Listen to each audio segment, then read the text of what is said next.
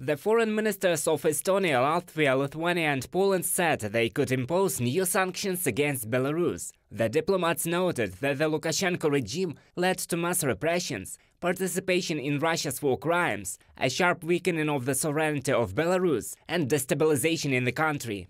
Three years ago, on August 9, 2020, Alexander Lukashenko proclaimed himself the winner of the rigged presidential election, thereby trampling on the democratic aspirations and rights of the Belarusian people, from the website of the Ministry of Foreign Affairs of Poland. The United States of America has introduced a new package of sanctions against Belarus. Legal entities and individuals are subject to restrictions. Among them are two sons and the wife of Belarusian businessman Alexei Alexin. Since 2021, Alexin and his main companies have been subject to European Union sanctions.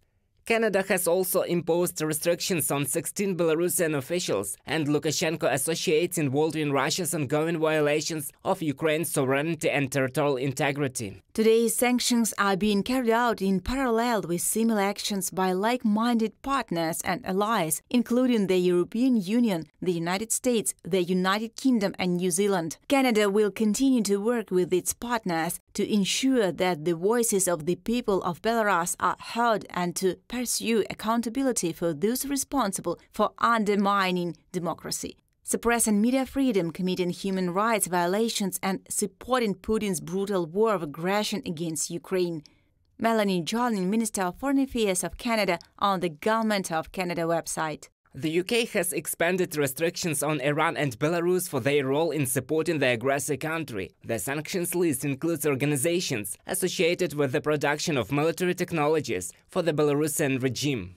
Today's landmark sanctions will further diminish Russia's arsenal and close the net on supply chains, propping up Putin's now struggling defense industry. There is nowhere for those sustaining Russia's military machine to hide. James Cleverly, UK Foreign Secretary on the UK government website. More than two and a half thousand Belarusian officials, businessmen and associates of Lukashenko today are under restrictions.